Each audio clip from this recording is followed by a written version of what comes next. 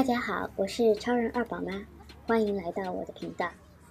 上个星期呢，我去了这个新的遛娃场所，叫做 Museum of Ice Cream，然后答应群里的小伙伴，我会介绍一下。那我去了以后，总的感觉是这个地方很酷，然后所有的东西都是粉红色的，所以特别美，特别那种很仙的感觉。孩子是玩得很开心，但是我的建议是，如果家里只有一个孩子的话，那最好可能和朋友家孩子一起来，不然一个孩子可能会有一点点闷。我觉得特别适合那种就是还在恋人未满阶段的呃小青年。嗯，之所以这么说呢，是因为。呃，它那个地方就是它每一个房间都会有一些免费的冰淇淋，然后不同口味的免费冰淇淋。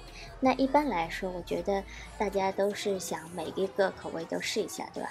但是呢，你又觉得说，哎呀，每个房间都有冰淇淋，我是不是等一下会吃不下，或者呃吃坏肚子啊什么的？然后你就可能会比较，就是怎么讲，就可能和朋友想 share 一个冰淇淋。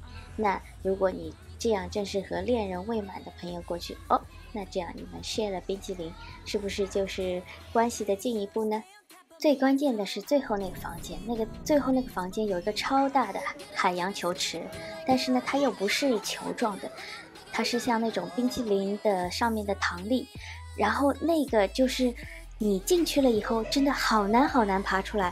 如果没有人拉你的话，这真的是要用尽洪荒之力才能爬出来。所以呢，如果女生在那卡住了，那是不是男生适时的去拉一把呢？或者拉一把的时候不小心一起掉下去了呢？然后一起掉下去了，就在那一直一直在那躺个几个小时，对吧？我就看到有几个小青年在那好像躺了几个小时都没有走。如果大家真的是带喜欢的人一起去，那祝你们关系能进更进一步，呃，表白成，哎，也不叫表白。就说恋人未满变成恋人已满吧。很重要的是哦，他家那个门票是要提前买的，买的时候要定好日子。呃，因为他家不是每天都开的，所以你买的时候要注意一下时间。最近解封以后，新加坡出了很多新的遛娃的地方或者吃饭的地方，我准备都要去打卡一下。如果好的话，会拍个视频给大家介绍一下。